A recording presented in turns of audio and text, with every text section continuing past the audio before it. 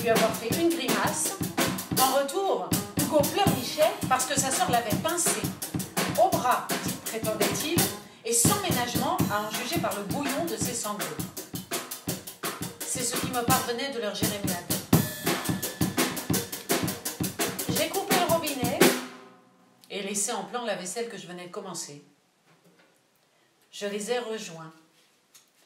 La table basse était encombrée d'un fouillis de pièces de domino éparpillées, certaines jetées sur le tapis parmi d'autres jouets en attente d'être rangées. Hugo malaxait son bras, théâtral, de grosses larmes rageuses pendues aux joues. Eva lui tournait le dos, bras croisés sur le torse, la mine résolument hostile. Le sketch habituel. Je me demande ce qui m'a pris. Chats. Qu'est-ce que vous diriez si on partait voir la mer? Là, maintenant, tous les trois. Les mots sont sortis tout seuls. Comment? Pourquoi? Mystère. Même moi, j'étais sur le cul. Quant aux petits, synchrone, ils ont tourné vers moi deux regards sortis d'un cartoon. Je leur aurais annoncé que Maître se débarquait chez nous à l'heure du dîner et qu'au dessert nous aurions droit à un mini-concert privé, je n'aurais pas déclenché plus d'excitation. D'ailleurs, euh, préparez-vous, mes chéris, notre invité devrait plus tarder. La mer Oh, trop bien, papa C'était assez facile, en fait. Vingt minutes plus tard, je jetais dans le coffre de la voiture mon vieux sac de piscine rempli d'affaires triées à la hâte et priais les enfants de s'attacher à l'arrière. J'ai verrouillé le coffre. On décolle les chats La kangou s'est ébrouée. Au premier virage, la dalle de l'immeuble a rétréci dans le rétro, une tache effacée du tableau.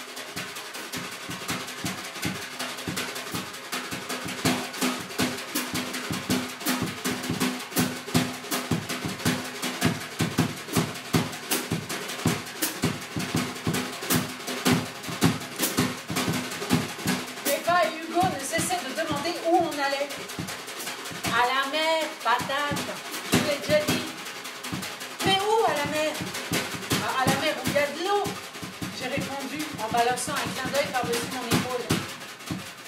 Et il euh, y aura des vagues, des poissons, des paniers, des paniers avec des noix de coco? Répignait mon fils. Ses kickers se battaient l'air sur la banquette. Des noix de coco, n'importe quoi. La poupée va dans un doucement ailleurs. Noix de coco, ça pousse pas dans les paniers. Euh, ta sœur a raison, Hugo. T'as déjà vu des noix de coco dans tes petits gâteaux, toi? Les deux se sont observés un moment avant de pouffer de concert. Des miettes aux lèvres. Hugo tenait dans ses mains une boîte de palmiers. Il venait de comprendre. Un point pour moi. L'armistice était parti pour durer.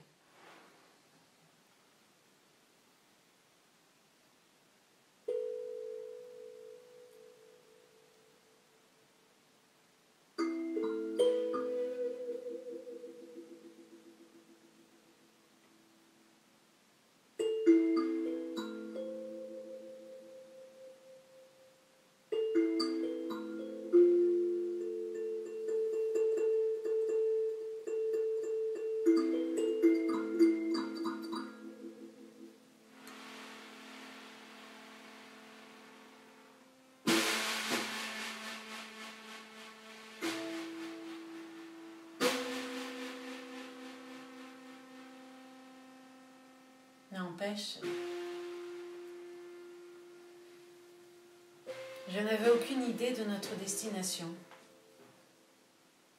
C'était une chose de filer à la mer sur un coup de tête, c'en était une autre de choisir quelle mer.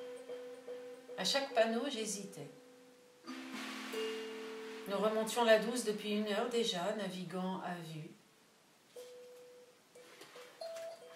Je me laissais bercer par la monotonie du décor autoroutier. Je ne pensais à rien. Ça m'allait.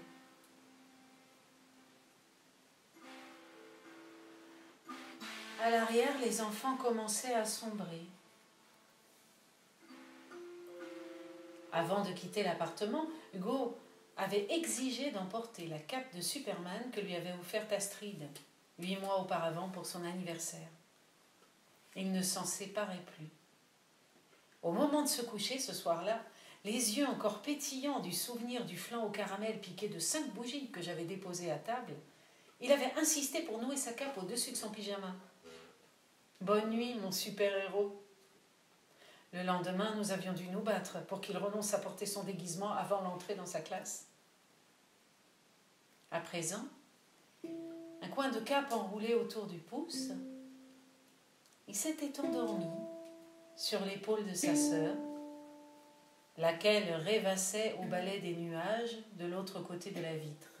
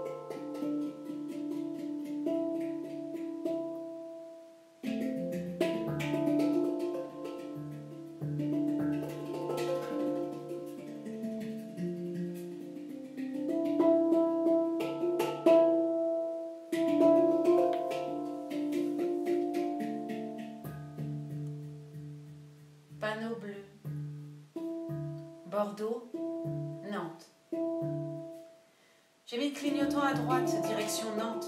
La kangou a pris une courbe. Nantes, la ville ne m'évoquait rien, hormis quelques séquences des films de Jacques Demy, le cinéaste favori d'Astrid. J'ai jamais compris comment ma femme pouvait se transformer en midinette hyper émotive à chaque fois qu'un film de Demy était programmé à la télé. En plus, euh, ces dialogues chantés, ça m'a toujours dépassé.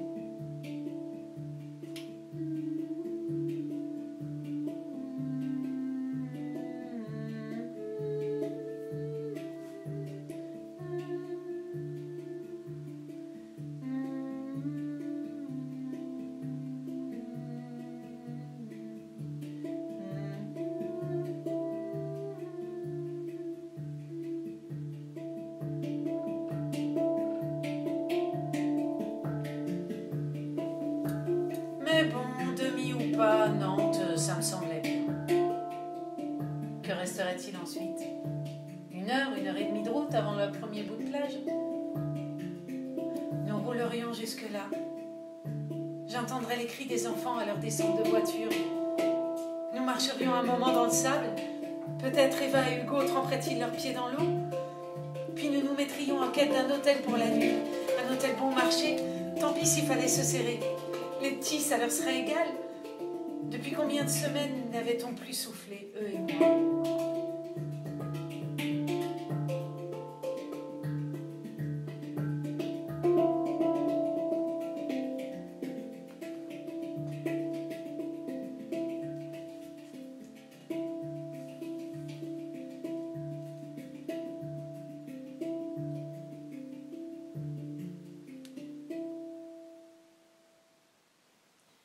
Dernière station-service avant Nantes. Je me suis arrêtée pour l'essence. Dehors, l'air était doux. Nous avions la chance avec nous. Plus la côte se rapprochait, plus le ciel s'imprégnait de luminosité. Hugo dormait toujours dans sa cape, imité maintenant par Eva. Après avoir accroché le pistolet de la pompe, je me suis penchée vers eux pour les réveiller. Vous avez faim, les chats? Soif Devant la caisse, Eva portait nos provisions. Une barre chocolatée pour elle, un mini paquet de chips pour Hugo, une bouteille d'eau à partager. Un couple d'âge mûr nous précédait. L'homme, profil sévère, prenait son temps et demandait à l'employé qui nous servait comment tournaient les affaires en ce moment. On était hors saison, ça devait être plus calme. Est-ce qu'elle ne trouvait pas le temps long derrière son tiroir caisse?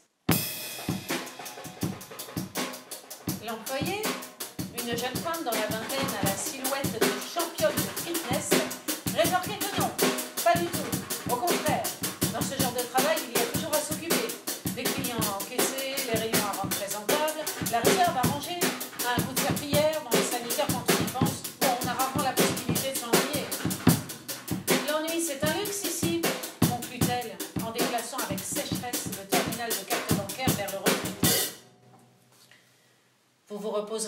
vieille comme nous, mademoiselle, décréta le client, le visage fermé, en sollicitant l'approbation de son épouse.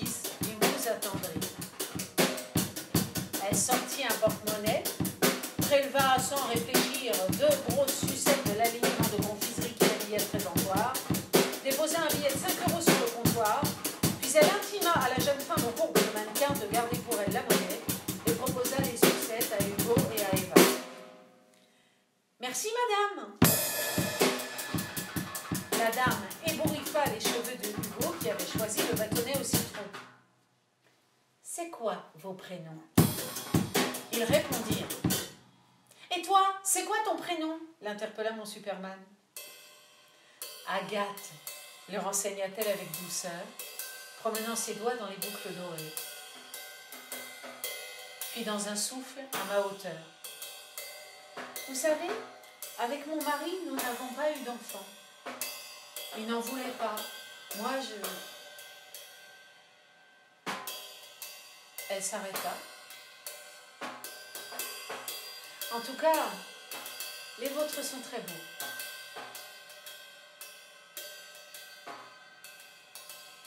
Elle avait de ravissants yeux clairs que plissait en leur coin un lacis de rides. Son parfum aux notes de jasmin flotta un moment dans l'air avant de s'évaporer lorsque son mari et elle franchirent les portes automatiques. Elle nous adressa un ultime signe de la main.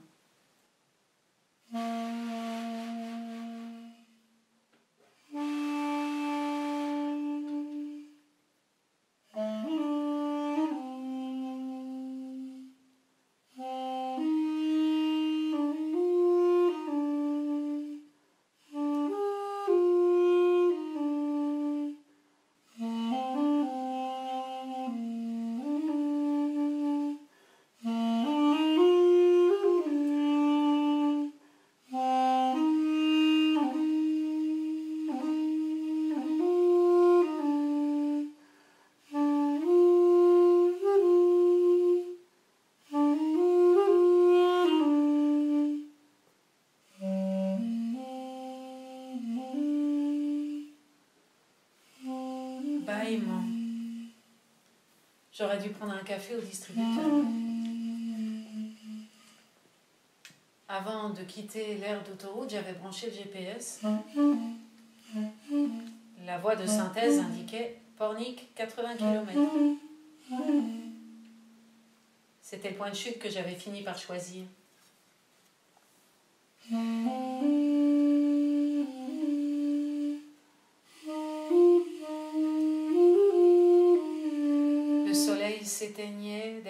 Pare-brise constellé de saleté. J'aurais mieux fait de passer un coup de raclette tout à l'heure. Hugo s'inventait à voix haute une histoire de course de voiture en désignant derrière la vitre celle qui nous doublait. Eva était absorbée dans une aventure de fantomette, tenant sur ses genoux un vieux livre format poche à la tranche essoufflée.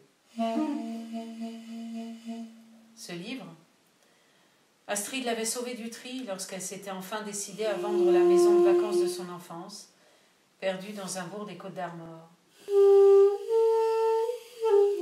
L'été, ses parents y séjournaient un mois entier. Après leur disparition, Astrid n'avait plus remis les pieds là-bas. Ça faisait des années.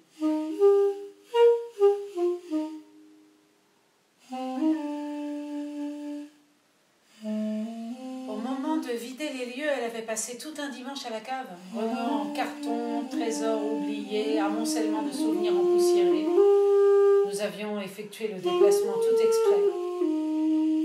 En fin d'après-midi, elle était remontée, les bras remplis d'affaires, du noir plein les ongles. Elle avait fait la distribution sans un commentaire. Eva et Hugo avaient chacun hérité d'une collection entière de livres et de jeux en tout genre. Eva s'était prise de passion pour les personnages de la bibliothèque rose. Astrid, ça la remuait de voir notre fille avec les livres de son enfance.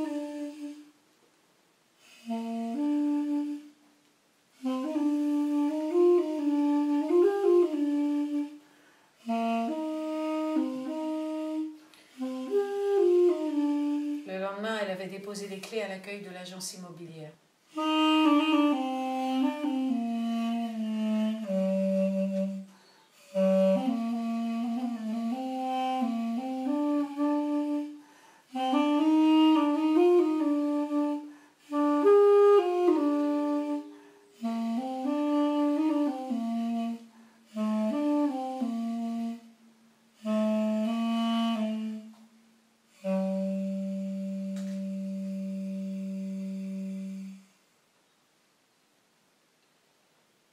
De 19 heures.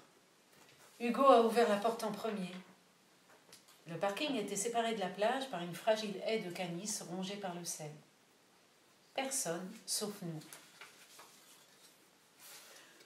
Quand je suis sortie de la voiture, j'ai été frappée par le vent, une bourrasque en plein ventre. Hugo courait déjà vers les vagues. Il avançait point tendu, sa cape rouge flottant derrière lui. À un moment, j'ai vraiment imaginé qu'il pourrait s'envoler. Eva m'attendait. Elle a posé sa main dans la mienne. Astrid avait grandi non loin de la mer, mais depuis la mort de ses parents, elle ne voulait plus en entendre parler. Elle préférait la montagne, les randonnées, les escapades à VTT. Et pour lui faire plaisir, je l'avais toujours suivi. Pour les enfants, cette virée à la mer était un événement exceptionnel. Papa, je peux enlever mes chaussures L'excitation de Hugo au loin. Oui, évidemment Hugo a dénoué ses lacets, retiré ses chaussettes avec maladresse, il a retroussé son jean en accordéon à mi-mollet. Superman, ainsi accoutré, a repris sa course folle à petites enjambées. Et quand les vagues ont mordu les chevilles de mon fils, j'ai entendu un rire.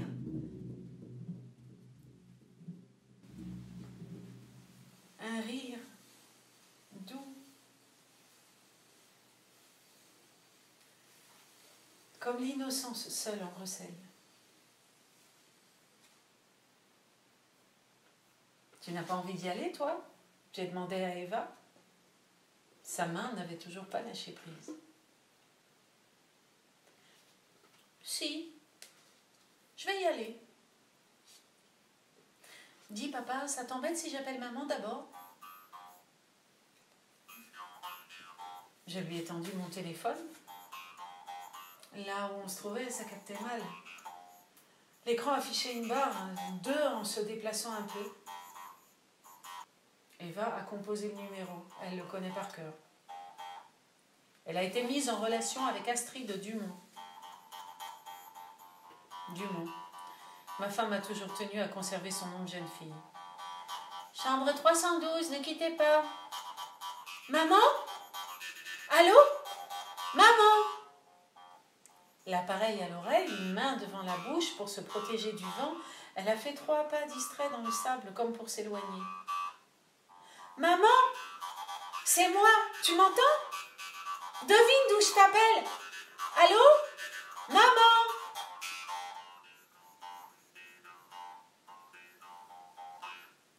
Je l'ai laissé se débattre avec sa conversation, comme je laisse Astrid en découdre depuis des mois avec cette dépression contre laquelle je suis impuissant. À quoi occupe-t-elle ses journées à présent?